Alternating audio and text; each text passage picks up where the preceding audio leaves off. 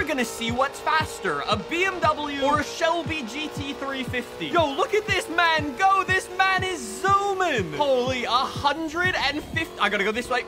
Jeez, how did you make that gap, bro?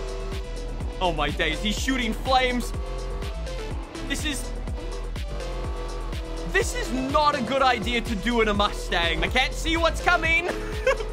this is a bit sketchy. Oh!